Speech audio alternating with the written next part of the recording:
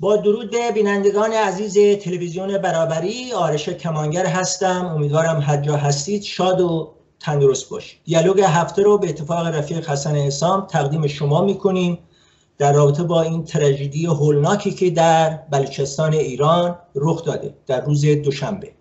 همونطور که می‌دونید زحمتکشان بلوچ به دلیل فقر و بیکاری گسترده و فقدان اشتغال کافی در این منطقه محروم مجبورند که از طریق قاچاق کالاهای مصرفی و مشخصا انتقال سوخت بنزین و گازوئیل به اون طرف مرز عمدتا پاکستان به دلیل تفاوت قیمتی که میان باهای سوخت در ایران و پاکستان وجود داره امرار معاش بکنه که متاسفانه در روز دوشنبه با تیراندازی مامورین سپاه پاسداران تعداد زیادی از اونها کشته و مجروح میشن. صحبت از ده ها نفر هست.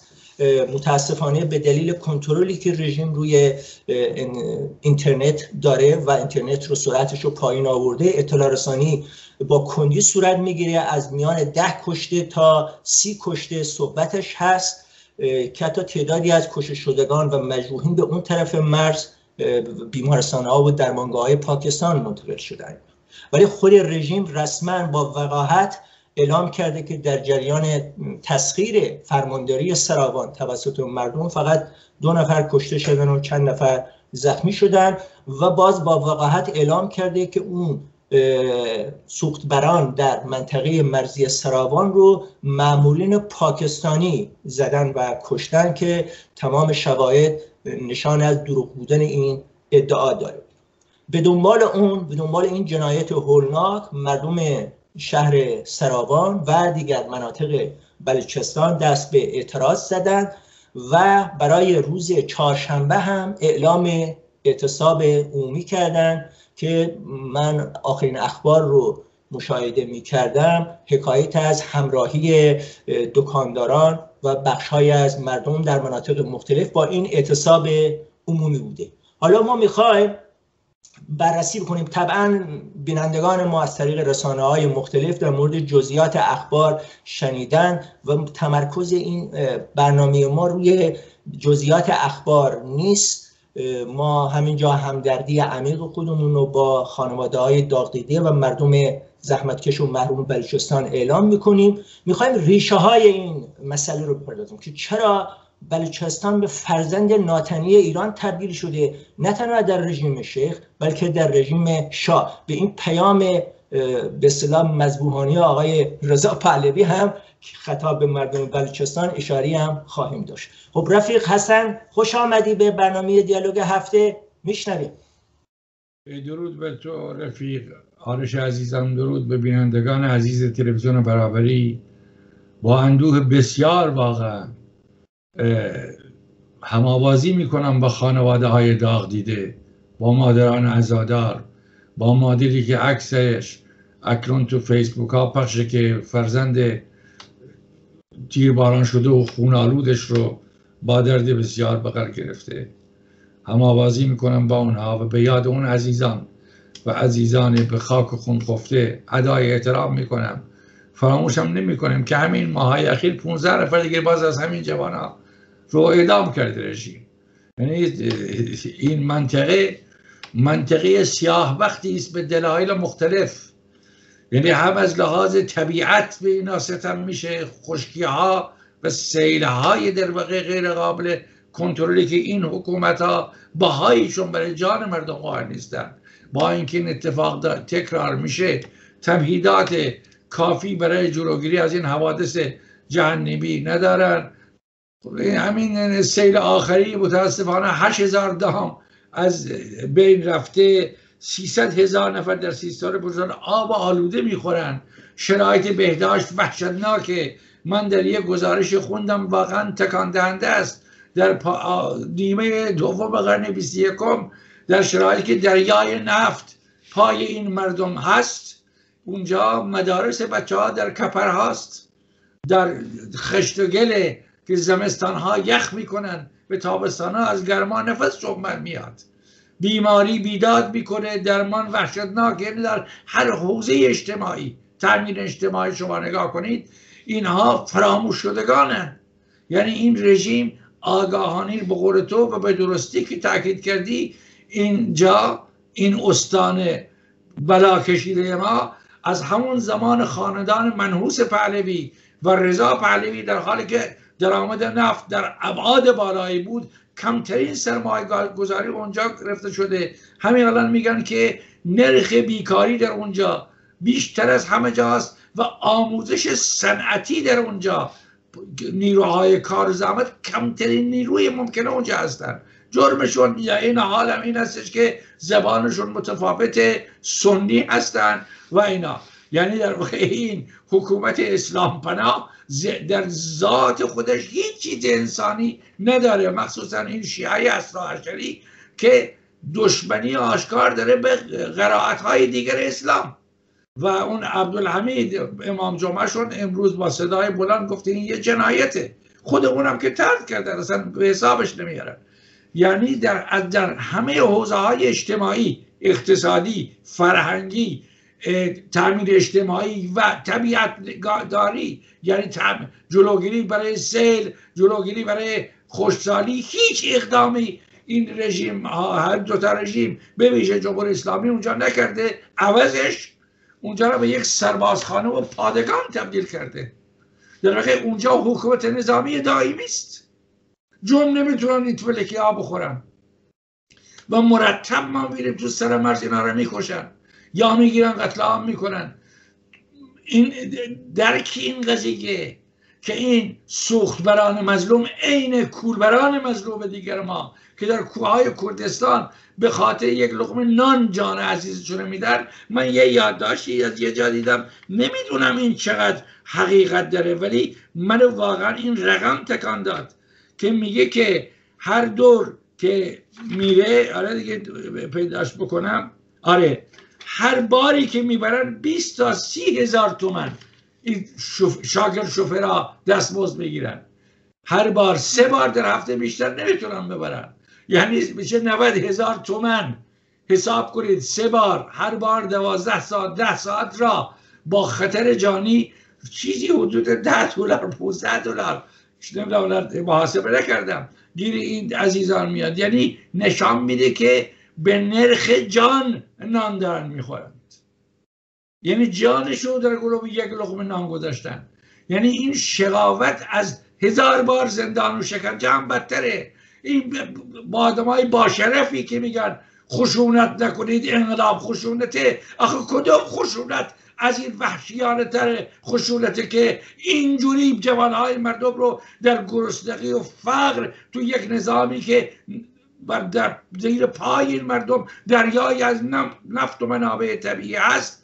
و میلیون ها میلیون دلار خرج آدم کشان در سوریه و عراق و لبنان میشه. میلیون ها میلیون دلار سرقت می‌کنن به بانک ها می‌برن. این جوان ها مجبور بشن بنزین و نفت ببرن اون برم از بفروشن. نان به تازه همون لقمه نان رو با گلوله تو با گلوله سوراخ می‌کنن گلوشون رو. یعنی شما در یک وضعیت عادی نیست که آدم با یک تحلیل خیلی ریاضی و یه این آجر رو این بنده اونی که نه.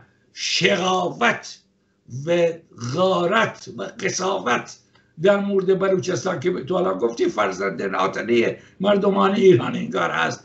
قسم من خودم یه مقدار آشنایی دارم به منطقه بلوچستان. ما را تو تشکیلات ارائه کارگر تو سالهای 65 تا 68 من به اصطلاح با رفقای بلوچ ما با هم کار می‌کردیم. یک نشریه در می آوردیم به نام کاریرا که هم بلوچی بود هم فارسی بود. طبعا من توی تحریریه تو بخش فارسیش می نوشتم بعد اون همرزمان بلوچ ما به اصطلاح به بلوچی می نوشتن یک نشریه بود ما منتشر می کردیم و اینا. در یه مقدار از وضعیت اسفناک اونجا اطلاع این وضعیت هم فقط مربوط به جمهوری اسلامی نیست. یعنی در دوری شاه هم به همین ترتیب بوده. یعنی شما در سراسر چون من اومده بودم قرار اجرا کنم در چابهار اون رفیق بلوش به هر دلیلی نتونسته بود سر قرار بعد من مجبور شدم برگردم به زایدان. این مسیر اتوبوس رو که از چابهار تا زایدان می اومدم انگار که مثلا به شعای چند صد کیلومتر شما دو تا کارخونه هم نمی‌دیدی. یعنی دو تا محل کار بزرگ فقط چند تا کپر بود که اونجا چایی و مایی و آب و اینا میفروختن. یعنی این فقر و فلاکت از دوری زمان شاه ادامه داشت به نحوی که همواره اونجا اصلا رسم بود.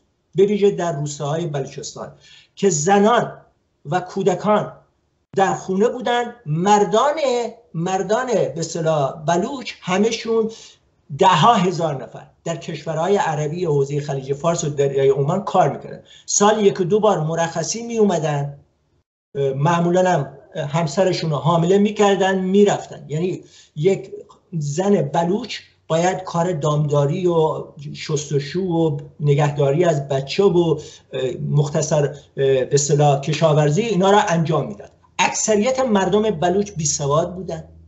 اکثریت مردم مردان بلوچ بیکار بودن و بسیاری از اینا یعنی شما وارد روستا که می شدید انگار تو این روستا مرد نیست. به خاطر اینکه اکثر این مردان همه در این کشورهای عربی خلیج فارس به پایینترین قیم حالا کار می‌کردن ولی به چون اونجا حقوقی که می‌گرفتن می‌تونستن پولشون بفرستن برای خانوادهشون. یعنی در دور این آقای رضا پهلوی که الان اشک تمثال میریزه برای مردم مبارزه بلوچ باید گفت که پدر و پدر بزرگ شما. ببینید پدرت پدرش که در اوج درآمد نفتی درست؟ اینه. به همین خاطر تو اصطلاح سیاسی و جامعه شناسی ما داریم. درست؟ کل ایران کارگران و زحمت کشان در فقر و بدبختی و نابرابری طبقاتی هست و تو جنوب شهر تهران هم هست. ولی ما در مناطقی مثل مناطق عرب نشین خوزستان مناطق کردنشین بلوچ ترکمن شاهد پدیده هستیم به نام ستم مضاعف. تبعیض مضاعف. یعنی همه اون بدبختی هایی که نیروی کار زحمت در سایر مناطق می‌کشه اینا دو برابر می‌کشن اینا. یعنی اینم کاملا با تو عقیدم. من می‌خوام ماجد یه خاطری بگم. این من چندین بار جای مختلف اعتمانم گفتم ولی تکان دهنده بوده. این رفیق ما محمود ترک اسلامی از عزیزان راکارگر که با قصاوت و حقوقبازی و ترفند و توته مادرش را آوردن در تلویزیون اون فکر کرد که می‌تونه از طریق مادرش فضا به در بره با اینکه موقعیت حساسی تشکیلاتی داشت. علا رقم این تیرباران شد با من در زمان شاه زندانی بود. شکنجه بسیار وحشتناکی داشت. یعنی اینا هر روز می بردن آویزان می‌کردن غروب می آوردن پایین به همونجور به پشت پاش به کف پاش شلا می اون همجا هر شب به شب خونی و می آمد و به شوخی به ما گفت تنبلای مفت خور. اینجا تو سلول افتادید بس من, من کارمند رسمی هم. یعنی این روحیه شگرف هم داشت که این شک شکنجه وحشتناک رو ابرو خم نمی کرد براش. برای من تعریف کرد خیلی رفیق شدیم بودیم با هم. می‌گفت چطوری تو سیاسی شدی؟ چون این اولا حزب الله بود جز گروهی به نام حزب الله بود. بعد از مجاهدین نزدیک شد بعد از مجاهدین تغییر شد مارکسیست شد که بعد اومد به راه کارگر پیوست که از کادرهای بسیار عزیز ما بود. یاد می‌گفت که من دوره دانشجویی این می بردن برای گردش علمی. یکی از این دوره های گردش علمی 15 روزی ما سیستان و بلوچستان بود. ما در سراوان این طرفا یک روز داشتیم میگشتیم شهر و بعضی چشم ما افتاد به یک اتوبوسی که اکثر بچه های دوازده سال 15 سال 14 ساله اونجا نشستن یه مادر یه پاکت تو دستشه. هی می‌زنه به این شیشه راننده که این پاکت رو ازش بگیره. یه ذره جلوتر رفتیم. چی بگه بگه خیلی خواهش بدیم بلوچی هم نمیفهمیدیم. پرسیدیم از اون راه بلد ما. میگه اینا همه بچه هاشون رو فروختن. می‌برن اینا رو به کشورهای عربی جاهای دیگر. منتها این لحظه آخر این مادره سیب خرید یا میوه ای در صورت یادم نیست. چی؟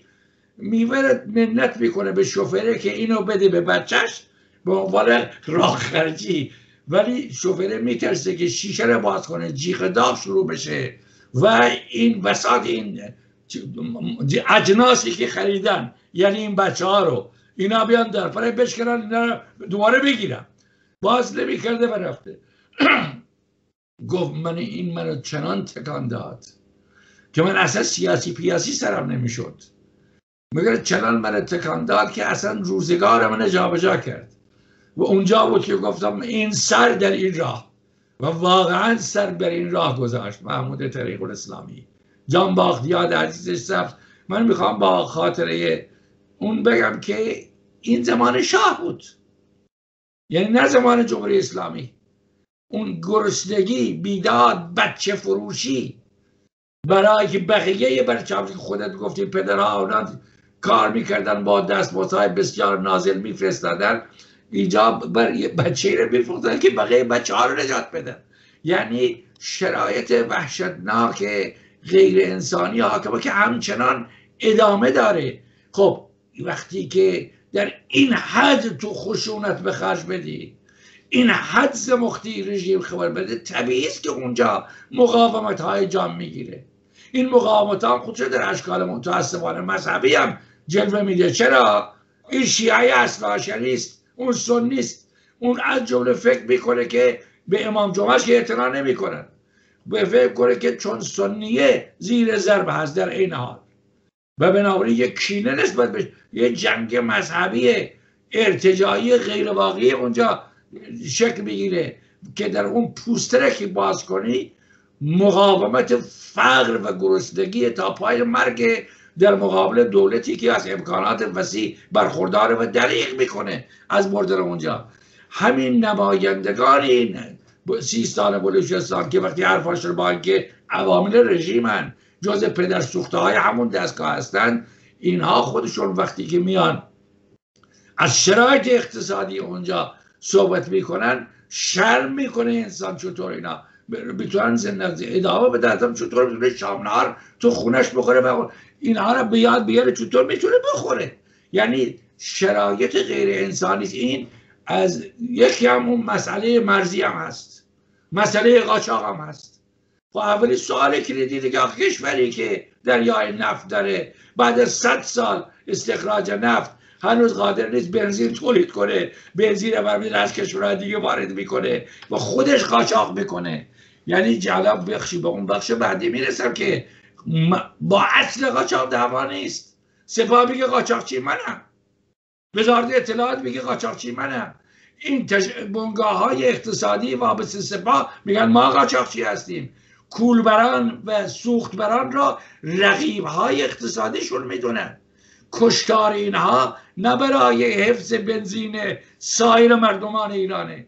این یک فریبکاری کثیفی است بر فریبکاری های کثیف دیگر رژیم آیت الله ها بلکه داستان این است که اینا خودشون قاچاق میفروشن. فقط هم اینجا اینجا بنزین قاچاق میفروشن اونجا هروئین قاچاق میفروشن. اینجا بار تریاک اجازه میدن که از این مرز بگذره از توی اف... افغانستان. یعنی کارشون مواد مخدر بنزین فروشی مال فروشی نفت فروشی و دکل فروشی است. یعنی درگیری سپاه با این گرسنگان پابرهنه ها رقابت بر سر حداقل درآمدی است که اینها دارن و اینا اینها را می‌خوان تصاحب کنن. شما یک لحظه تصورش بکنید. اگر یک سر سوزن این رژیم اسلام سیاسی و این آیت الله های جنایتکار اسلام و خدا و پیغمبر و بهش همه گروه بابای خودشون. ذره انسانیت می داشتند در این منطقه که به شدت فقیر و گرسنه است و به شدت می‌تونه بره بزهکاری رو با من راه حل چیز کنه. اونجا سرمایه گذاری می‌کردن. با شرایط ساختارهای پایه برگزار می‌کردن. شرایط اقلیمیش درست می‌کردن. شرایط محیط زیست ولی ولش کردن. و یک راه حل گذاشتن. کشتن ترور حکومت نظامی و قتل عام بچه های مردم. خب این شرایط این تضاد تضاد طبیعی که یه جایی انفجاری میشه. و این انفجار فقط مال سی سال بلوچستان نیست. یکی امروز به درستی بگو و همه با ما خودم بلوچم. من عربم. من خود کردم. یعنی جا ملل ساکن ایران از طریق ستم های متنوعی که هیئت حاکمه سرمایه‌داری جمهوری اسلامی هم بر اونا میره زندگی اینا رو به هم گره زده. ما نباید اجازه بدیم که بلوچستان در این قتل عام تنها بمانه. در یک اقتصاد نرمال طبیعیه که هیچ فردی که اون کولبر در کردستان در اون سرمای وحشتناک اون کوپه های نفسگیر جانشو به خطر نمیندازه و چه این زحمتکشان بلوچ که در اون گرمای کشنده و بعد اصلا غیر از این تیراندازی مامورین سپاه گاهی این محمولی که چون دارن حمله می‌کنن بنزین و گازوئیل و با کوچکترین جرقه منفجر میشه. بسیاری از اینها در حین حمله این بار با این وانت بارا و غیره و اینا اصلا منفجر شده و جان خودشون از دست دادن در یک اقتصاد نرمال هیچ فردی نمیاد چنین شغلی رو برگزینه. ولی سوال اینه آیا هیچ گزینه دیگری وجود داره؟ یا باید برن زن و بچهشون رو ول کنن برن کشورهای دیگه اونجا کار کنن؟ یا اگر اونجا هست هیچی چون اونجا که مثل گیلان که نیست که از هر جای دو متر بکنی آب در بیاد. با کمبود شدید آب روبرو هستن. یعنی اینا مجبورن از گودال هایی که می‌کنن آب باران هر سالی چند بار میاد. اونجا جمع میشه از اون آب. هم برای آشامیدن دا هم برای آشامیدن خودشون. هم زر شستن هم لباس شستن استفاده می‌کنن. و بعد تو این گودال ها تو این مرداب ها یک نوع تمساهایی هست پوز کوتاه بهش میگن به نام گاندو. هز... الان صدها مورد من عکس فقط دیدم از دختر بچه ها و پسر بچه هایی که از آرنگ دستشون قطع شده. حتی خود صدا و سیمای جمهوری اسلامی با وقاحت با اینا مصاحبه می‌کنه. مگه شما چرا رفتید اونجا آب بردارید؟ فلان خب آب از کجا بردارید مثلا آب لوله کشی ما نداریم. یعنی میرن از همون مردابی که اون تمسا هست و اون تمسا میاد به صلاح دست و پای اینا را قطع می‌کنه و کلی کودک اونجا کشته میشه. یعنی هیچ گزینه دیگری وجود نداره. و بعدم بعدم مثلا شما به درستی گفتید که سپاه پاسداران طرحی که آورد در همین ماهای اخیر این بود. سپاه پاسداران اومد گفت که خب جمهوری اسلامی خودت می‌دونه که الان در با بنزین تولید بنزین و گازل خودکفاست. یعنی از خارج وارد نمی‌کنه. حالا کار نداریم. مثلا بنزین نامرغوب و فلان اینا. ولی هرچی هست همه رو در ایران داره تولید می‌کنه. خب تو مگه دلار نمی‌خواید؟ مگه پول نمی‌خواید تو این دوره تحریم اقتصادی؟ خب اینا چه خودت بفروشی چه این مردم بفروشن. این مردم که میرن اونور میفروشن پولشو میارن. تو اقتصاد بلوچستان خرج خانواده زن و بچه‌شون می‌کنن دیگه. درست؟ سپاه گفته آها این عجب پولیه اینجا. من چرا بذارم اینا؟ یه مبادی ورودی گفت من کارت صادر می‌کنم. بعدم باید به سپاه حال بدی تو تظاهرات دولتی شرکت بکنی جاسوسی هم بکنی و فلان اینا. خب خیلی از مردمان بلوچ تن نمیدن. سپاه خواسته این business بگیره دست خودش و کارت صادر بکنه که طبعا اکثریت این مردم محروم تن نمیدن. یه طرح دیگر هم که رژیم داشته اینه که اخیرا می‌خواد این استان سیستان بلوچستان رو به چند استان تقسیم بکنه. یعنی همون کاری که شاه با آذربایجان کرد یا با کردستان کرد مناطق کردنشین رو هر کدام به چند تا استان فرستاد یا آذربایجان رو که جمهوری اسلامی هم ادامه داد استان اردبیل هم اضافه کرد. برای در هم شکستن وحدت ملی مردم برای اینکه این پیوندی که وجود داره میان در هم شکسته داره از توی همین بلوچستان استان مکران و استان فلان و استان اینا می‌خواد در بیاره. این هم هست. های اجباری حدود سی ساله که تو پروژه رژیم جمهوری اسلامی است. و این خانوار و فامیلا رو از هم دیگر جدا می‌کنن.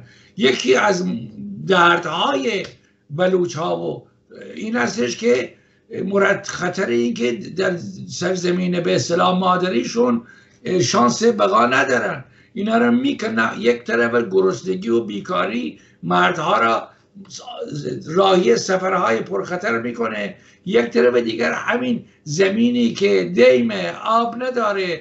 شرایط اقتصادیش وحشتناکه. باز هم اینا رو می‌کنن می‌برن جای دیگر. کشاورزی در این منطقه روز به روز به سقوط دردناکی در واقع منجر میشه که در واقع بازده تولیدی نداره. یعنی در کشوری که در استانی که نه کشاورزیش بازده داره نه زیر های صنعتی داره که تولیدات فابریک داشته باشه نیروی کار طور جذب کنه.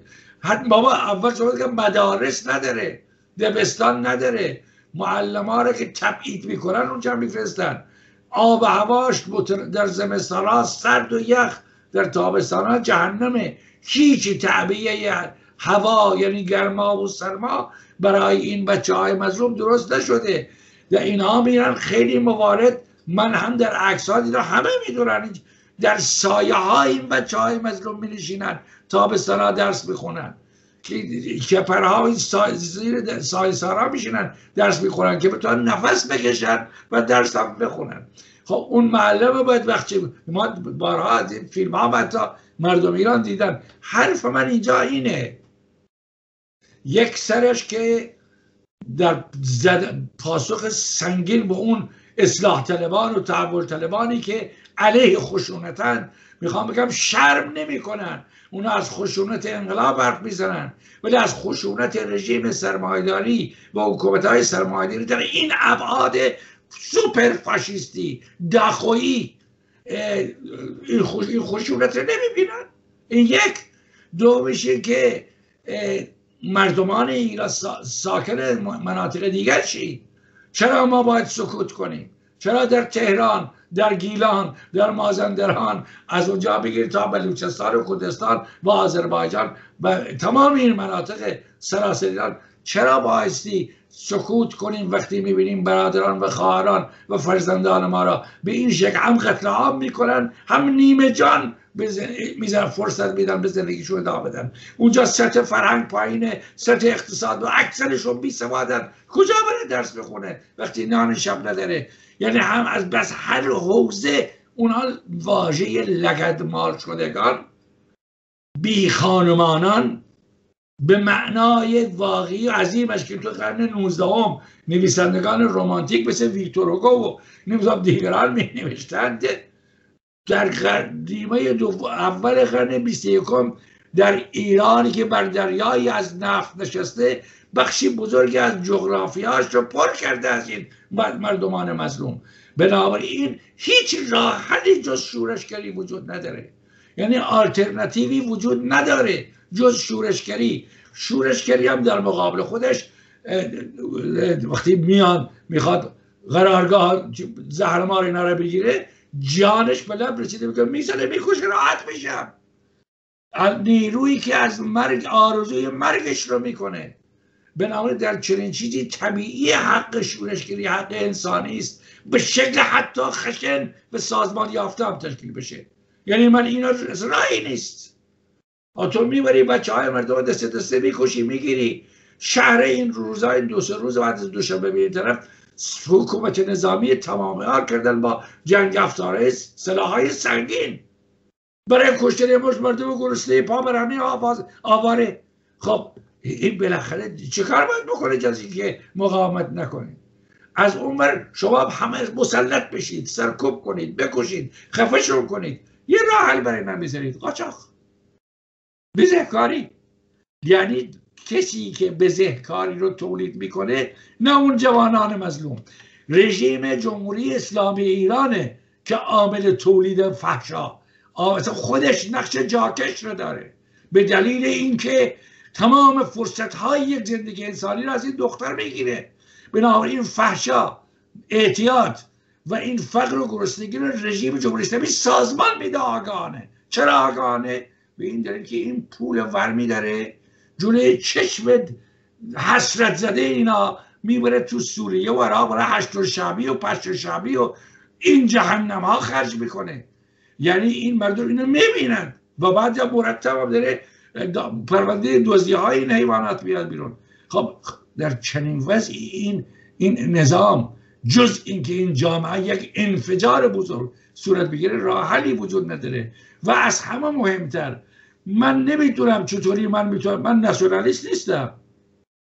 ولی تمام مردمان این نقشه گربستان در سراسر ایران بلازده و در من خواهرم و برادران و فرزندان منن مگر میشه من در فلان استان باشم این جهنم رو ببینم هم آوازی نکنم؟ هزار درجه از هفت تپه دردناکتره این اتفاق. باید هفت تپه ها کارگران بدون استثنا معلمان بازنشستگان جوانان دانشجویان شورش کنند در فریادشون بلند کنند در دفاع. از این مظلومیت قتل عام شده مردمان بلوچستان. من اینجا نمی‌خوام فتوای جمع متهم کنید که چیز نظامی فضا میگم. آه وقتی یارو می‌زنه اینجوری می‌کشه شما دارید تحمیل می‌کنید مقاومت نظامیشو بهش. و بعد اینکه خبری هم نبوده که این حالا این رژیم سعی داره مثلا این آقای معاون فرماندار اومده گفته اینایی که به فرمانداری سراغان حمله کردن یک مش اشرار بودن. خب این اصطلاح رژیم چون رژیم می‌دونید چرا راحت در کردستان در خوزستان از عرب ها و در بلوچستان راحت اعدام می‌کنه؟ چون اونجا به حال مثلا نوار مرزی یک سری مثلا تحرکات نظامی هم بوده مردمانی که فقط اومدن به شیوه مسالمتامیز مثلا بدون سلاح دارن اعتراض خودشون رو به یک جنایت اعلام می‌کنن فوری انگ اشرار و مسلح و اینا رو می‌زنه که بتونه راحتتر اعدام بکنه. ببین ما در بلوچستان غیر از این محرومیت های اقتصادی و اینا خب ما همین 21 فوریه چند روز قبل روز جهانی آموزش به زبان مادری بود. یعنی یه از زشترین جلوه های شونیزم یعنی تبعیض و ستم ملی رو چه در رژیم شاه و چه در جمهوری اسلامی ما در رابطه با همین بلوچستان می‌بینیم. یعنی به اینا اصلا فرصت نفس کشیدن که به زبان بلوچی که یک ملت با سابقه هستن که نه تنها در ایران بلکه مثلا در پاکستان هستن در افغانستان هستن. اینا اینا رو می‌گیرن به اصلا از کوچکترین حق ملی آموزش به زبان مادر اینا که ندارن. درست؟ و بعد به دلیل که اکثریتشون به اصطلاح همین بلوچا چیز هستن اهل سنت هستن خودتون می‌دونید دیگه. به حال با اون که مسلمانن از دید این حضرات به دلیل اینکه اهل سنت هستن تحت تبعیض مذهبی هم هستن و اینا. و بعد دائما هم در طول ببین جمهوری مثلا جمهوری اسلامی در اوایل بعد از انقلاب نیروهای چپ دموکرات دست برتر رو داشتن در بلوچستان. یعنی از رفقای پیکار بودن. زندیاد محسن فاضل که کاندیدای سازمان پیکار بود در بلوچستان. درست؟ اعدامش کردن همراه سید سلطانپور. رفقای فدایان اقلیت بودن که نشریه بامیستا را در می آوردن. راه کارگر که نشریه کاری را در می آورد.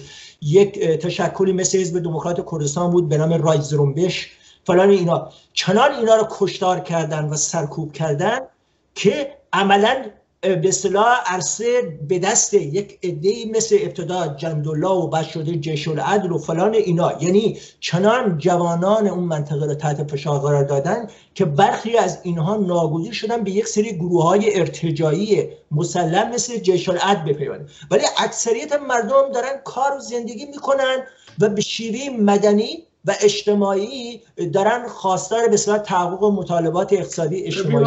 دقیقا حرف من همینه با تایید این نکته های گفت جیش العز حریکی تقویت نمیشه که؟ این مردم پناه می‌برن به جیش العز. یعنی این مسئله کلیدی است. این فرصت برای او اون نیروی ارتجاعی فراهم می‌کنن. همچون که فرصت برای داعش فراهم شده همچون که فرصت برای طالبان فراهم شده و این آدم کشان منطقه بمان اسلام. اونجا همین داستانه. یعنی در واقع حکومت های سرمایداری مستبدن که ظرفیت فرصت ایجاد می‌کنن برای بازتولید نیروهای ارتجاعی به عنوان مدافعان مردم. یعنی دونید خیلی این چیز دیالکتیکی رابطه است. واقعا این دیالوگ امروز ما از طوری که به من مربوطه مرسیه برای مردم سیستان بلوچستانه من امشب نیامده اینجا بشینم وارد ارزیابی های اخست ویژه بشم. چون اینقدر تلخ و دردناک فقط حرف من و پیام من به طبقه ما که کسی نیستم با عنوان یک دوستار یک قطره ناچیز. اصلا اونم قطره هم حتی نه. درخواست اینه که طبقه کارگر ایران سراسر ایران کارگران دانشجویان به ویژه دانشجویان. اینا باید این فریاد خفه شده را اون صداهای خفه شده را فریاد بکنن. در هر شکلی که ممکنه در هر فرمی که لازم می‌دونن. همبستگی ملل ساکن ایران کجا می‌تونه بهتر از این جور جاها خودش نشان بده؟ در دفاع از یک مظلومیت قربانی شده و غیر قابل نفس کشیدن برشون چطوری میشه این رو سکوت کرد و تماشاچی بود و فقط ای وای ای وای گفت. با ای وای ای وای مشکل سیستان بلوچستانی که چندین ده است چند دور به دور لگد ما شده پاسخش نیست. حمایت بیدریقه در این حال همیاری مردمی هم هست. بله. همیاری مردمی هم یکی از ابزاری است که حداقل نفس کشی را بینا فراهم می‌کنه. آخر شما الان گفتی اون تمسا رو من فراوان این روزها خواندم قبل از اونم خواندم که این گودالایی که آب جمع میشه پر از کرم و حشراته. خودش عامل بیماری است نه فقط تمساست اون آبی که تو روده این بچه میره پر از باکتری و بیماری هست آب گندیده است که هم پوزه گاو توش میره هم پوزه انسان. یعنی و این اون چیز غیر واقعی است که اصلا تو فکر می‌کنی تو قرن 15 هم در بیافرا یا در یک کشور قاره کشف شده داری حرکت می‌کنی. حرفم رو رفیقانش گفتم همچنان که من این جلسه را جلسه مثلا لحاظ روحی شرایطی که بیایم وارد بحث های معینی بشیم که چیز ندارم. من بیشتر هدفم پیشنهاد من دعوت می‌کنم. از مردمان سراسر ایران از کارگران و زمشان که به داد برادران و خواهراشون برسن صدای اونا رو بلند کنن. اونا دارن در غربت به تنهایی خفه می‌کنن. این اون چیز وحشتناکی که هست مسئله است. بنابراین دانشجویان عزیز سراسر دانشگاه ایران. بایستی در واقع بپاخیزن. این اعتصابی که شروع شده در سیستان و بلوچستان. زیر چکمه های حکومت نظامی خونخار و سپاه پاسداران و وزارت اطلاعات خونخار این احتساب رو اگر گسترش پیدا نکنه اونجا خفه می‌کنن. طبیعیه که خفهش کنن. وقتی بنابراین با حمایت از این اعتصاب ها به ویژه به ویژه به ویژه حمایت تمام ایار از این اعتصاب ها فرصتی است برای فشار به رژیم آدم کشان. و حد معین اقلی عقب نشینی اونها تا اون تفلکی ها نفس بکشند. نبیش از این. بنابراین ما این فرزند ناتنی که گفتیم بلوچستان فرزند ناتنی فقط از زاویه سیستم سرمایه‌داری حاکم و نظام های سیاسی حاکم هم نیست. واقعیت اینه که بخشی از اپوزیسیون هم همواره به بلوچستان و یک سری مردم زحمتکش عرب اینا حالا کردا کمتر به دلیل به اصطلاح این نقش سیاسی پررنگی که بعد از انقلاب حداقل داشتن قبل از انقلاب داشتن اینا ما با یه بیمهری هم نسبت به زندانیان بلوچ نقض سیستماتیک حقوق بشر توسط حتی نهادهای حقوق بشر حتی در توسط سازمان ها و احزاب اپوزیسیون هم روبرو هستیم. یعنی باید اینا توجه بکنه یعنی فقط ایران فقط این نیست. موقعی که تمامیت ارزی میشه این ما وطن به خطر افتاد یاد بلوچ بیفته یاد عرب و کرد بیفته و اینا. اینا اگه جزی از این سرزمین هستن از حقوق برخوردار هستن فرق نمی‌کنه. اون زندانی که فارس تو باید از حقوق انسانیش دفاع بکنی اون زندانی دراویش گنابادی به نام محجوبی که اخیرا جان خودش رو زیر دست این جلادان از دست داد ازش حمایت می‌کنی. اینجا هم باید به صحنه بیاید همونطور که شما به درستی گفتید باید به صحنه اومد و ازشون حمایت کرد. یعنی این جنبش یک جنبش سراسری اگر می‌خواد بشه باید از طریق همین سلسله حرکات سراسری به ویژه اعتصاب عمومی سراسری باید به پیش برده بشه. وگرنه رژیم تک تک این جنبش ها را در انزوای خودشون تک تک سرکوب می‌کنه قتل عام می‌کنه و بعد ما به امید اینکه حالا کی در فلان منطقه دیگه می‌خواد خیزش یه حرکتی رخ بده. این همبستگی جنبش ها با همدیگه اهمیت داره. از این در این صورتی که بلوچان می‌تونن احساس بکنن. می‌دونی؟ ما چون اونجا بودم دیگه بلوچ اونجا بیمار میشه میره پاکستان. خودشون معالجه می‌کنه. اصلا احساس نمی‌کنه یک ایرانی هست مثلا بیاد فرض کرمان یا حداقل مثلا توی شهرهای اونجا نیست مثلا بیاد مشهد خودشو. یعنی احساس نزدیک بره پاکستان بره اون طرف مرز در بلوچستان پاکستان خودشو مداوا کنه. اگه می‌خوای بلوچستان جزی از مردم ایران باشه باید این همبستگی متقابل وجود داشته باشه. دقیقا من با یه جمله کوتاه می‌خوام بگم و مزاحم بینندگان عزیز به شخص تو نشم. اونم اینه که من دو حوزه می‌بینم. یک حوزه تلاش در همه امکانات با همه امکانات برای همیاری. یک گام اولیه است دو هماوازی با این مردم از طریق اعتصاب سراسری شون حساب دارن می‌کنن.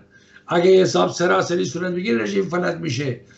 و پیوند ارگانیک ملت های ساکن ایران با هم دیگر از همه اینا مهمتر. طبقه کارگر کارگران ما و مزدوق بگیران ما که لولای اصلی این دگرگونی در چشم انداز هستند اینها اگر گره نخورند با این جنبش ها اون جنبش جنبش ها برای تعیین تکلیف کردن این بیشرف های آدم خار ضد انسان ضعیف کش رودروشون نخواهند شد. راه جز همبستگی و اون هم سراسری ارگانیزه تشکیلاتی علنی مخفی نیم مخفی. برای مقابله با این رژیم راه دیگری جلوی ما نمونده. این رژیم هم مستبده هم سرمایدار پس هم علیه استبداد هم علیه سرمایداری اون گرهگار باید به هم بافت به عراجی و سکترت و ملترت و فرشگرد و تحول خواه و پهلو باید فراموش کنیم. راه حل ما برای در هم شکستن قدرت رژیم مبارزه تو امان در این راست است. امیدوارم اتفاق بیفته. بله. درود بر رفیق حسن حسام عزیز. ما بار دیگه با خانواده های داغ دیده مردم عزیز بلوچستان ابراز همدردی می‌کنیم. اندوه عمیق خودمون رو اعلام می‌کنیم. ولی این به حال در طول 42 سال این کشتارها ادامه داشته. مادام که انقلاب اجتماعی برای به زیر کشیدن استبداد و سرمایداری جمهوری اسلامی برپا نشه متاسفانه این تراژدی ها تکرار خواهد شد. درود بر